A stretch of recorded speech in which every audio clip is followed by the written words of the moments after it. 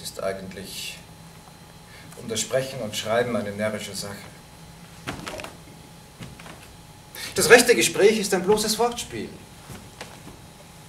Der lächerliche Irrtum ist nur zu bewundern, dass die Leute meinen, sie sprechen um der Dinge willen. Gerade das Eigentümliche der Sprache, dass sie sich bloß um sich selbst bekümmert, weiß keiner.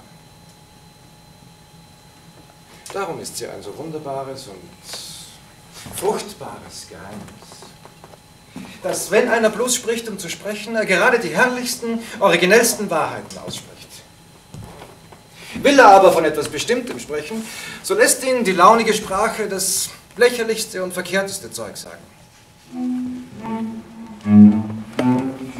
Jüngst, als Lisettchen im Fenster saß, da kam Herr Philidor und küsste sie, umschlang ihr weiches, weißes Knie und sagte ihr was ins Ohr. Ich weiß nicht was. Über die Geschlechtslust.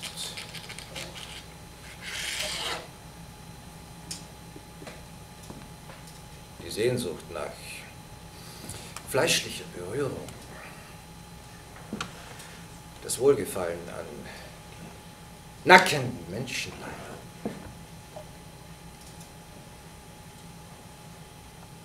Sollte es ein versteckter Appetit auf Menschenfleisch sein?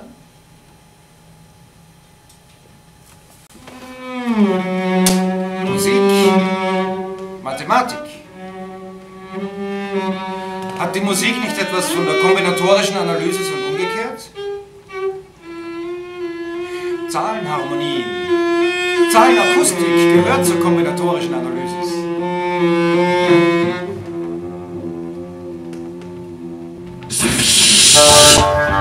Ihre Frühreife, sie entscheiden zu gefallen.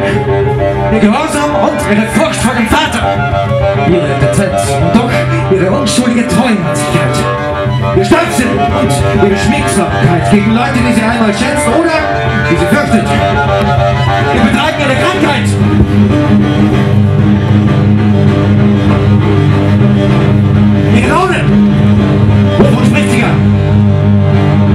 Gegen Fremde.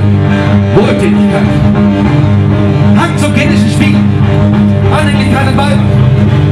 Ihre Urteile, Gesinnungen, Anzug, Tanz, Geschäftigkeit im Hause. Neulich habe ich das Wettiner Steinkohlenwerk befahren und mich mit der Gegend etwas bekannt gemacht.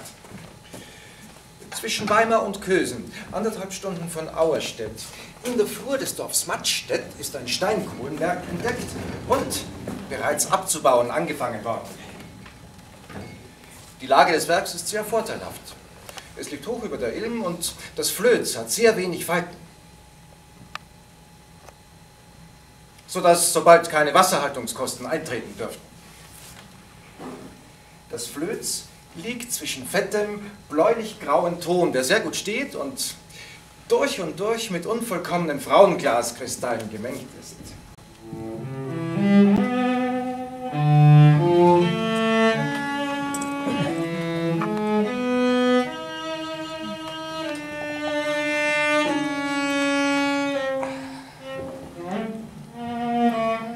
schmeckt das Gläschen Wein so süß?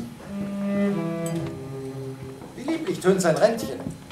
Ich weiß, wer alles stehen ließ. Kämst du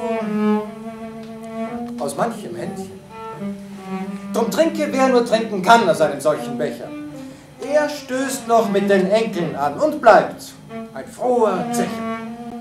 Alles geistige Genießen kann daher durch Essen ausgedrückt werden.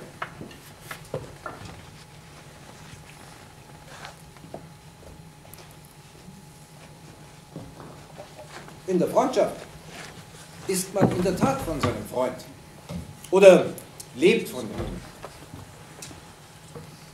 Es ist ein echter Tote, den Körper für den Geist zu substituieren und bei einem Gedächtnismahl eines Freundes in jedem Bissen mit kühner, übersinnlicher Einbildungskraft sein Fleisch und in jedem Trunke sein Blut zu genießen. Der müde Fremdling ist verschwunden und hat dem Freunde Platz gemacht, der aus so vielen trüben Stunden ein treues Herz davongebracht. Auf immer nun mit euch verbunden, von keinem Kummer mehr bewacht, hat er sich wieder selbst gefunden. Und manches, was er nicht gedacht.